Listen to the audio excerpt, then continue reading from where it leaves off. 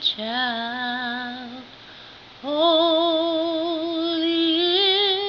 is it so tender and mild.